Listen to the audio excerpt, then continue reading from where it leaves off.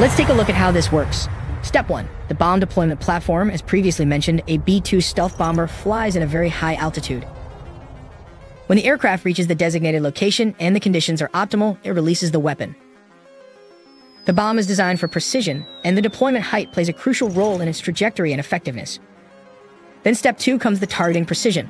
The bomb is outfitted with advanced guidance technology, including GPS and inertial navigation systems, which are military-grade satellites.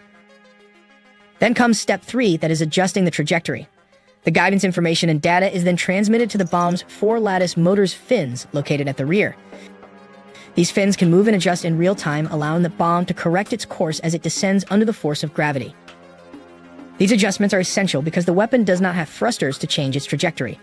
Instead, it relies on the movement of these fins and a high altitude drop to control its flight path. This is why the bomb must be deployed from a very high altitude so it has enough time and distance to adjust its trajectory accurately. Here comes the most difficult part that is step 4, impact and penetration. The bomb, known as the Massive Ordnance Penetrator, weighs approximately 30,000 pounds, which is around 14,000 kilograms. When it reaches its target, it strikes with immense force, designed to penetrate deep into hardened structures, such as bunkers. The energy upon impact allows the bomb to bury itself over 200 feet into reinforced concrete, ensuring it delivers its payload precisely where it is intended for maximum effect.